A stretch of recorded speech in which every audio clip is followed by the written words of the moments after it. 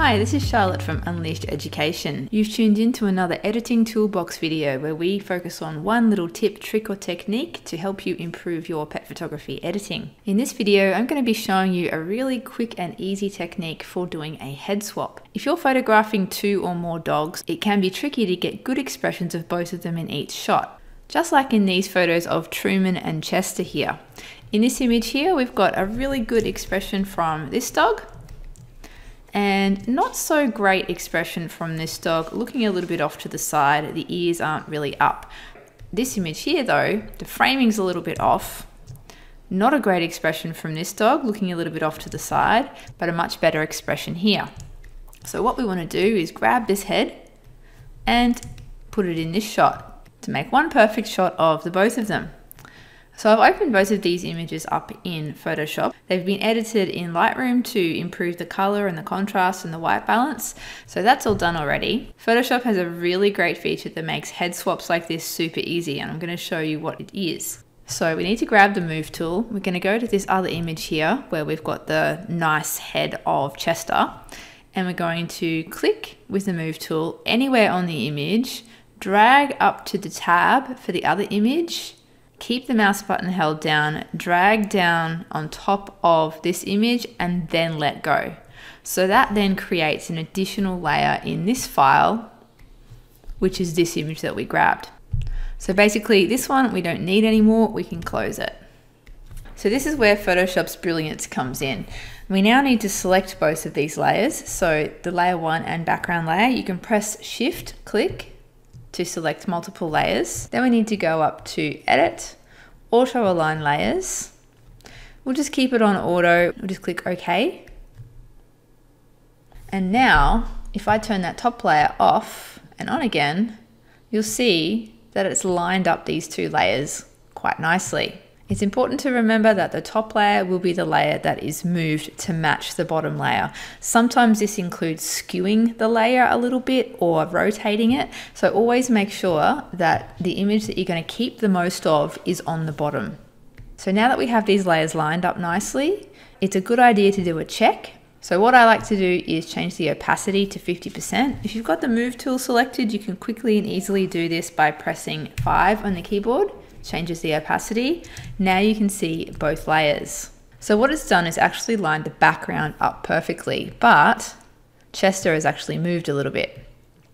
We just need to make sure that his shoulders are fairly well aligned because basically we're just going to take his whole head from that top layer and put it on the bottom layer.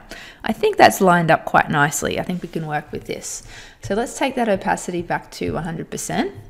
We're going to add a mask to this top layer. So in this instant, I'm going to hide everything while adding the mask, which means I need to add a black mask. So I'm going to hold down option and click on the new mask icon in the layers palette here. That adds the black mask. Now that's hidden that whole top layer. Now we need to reveal Chester's head. So let's grab a brush we need to make sure it's a white brush. So over here in the swatches, we need to make sure white is the foreground color here, which it is. If it's not, you can just press X to swap them. Then we make sure this mask is selected and then just paint with a white brush into that mask to reveal that part of the layer. Now the shoulders were lined up quite well, so this should all work quite nicely. So if you want to see where the mask is actually applying to, you can press backslash on the keyboard and that then shows you where the mask is black, which is red, and where the mask is white, which is where you can see the layer that it's masking. So that's all looking pretty good. To check this, I'm going to turn this layer on and off. Now it has moved his head a little bit, which kind of makes sense because before he was sort of looking off to the side. Whereas in this one, he's more engaged with the camera and he's sitting up a little bit straighter and his ears are up more.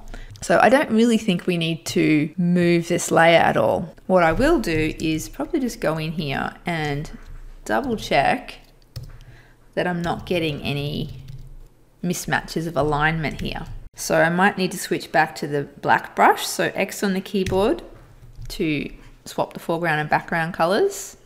On the other side here is a bit of ghosting going on, so I'm going to switch back to a white brush, so X on the keyboard again. and just show this layer.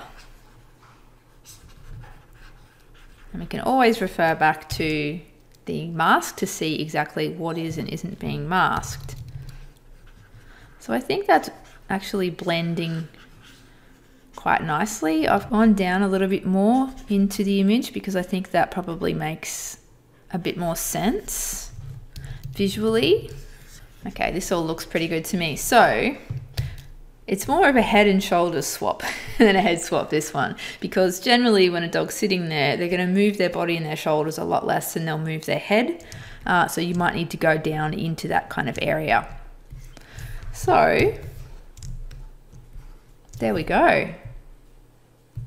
A beautiful head swap. All we need to do now is recrop the image. It added extra image around the edge to allow for this other layer that we brought in. But if we want to crop that back, just press C on the keyboard, make sure the ratio is the original ratio, which is 2 is to 3. And just quickly recrop that.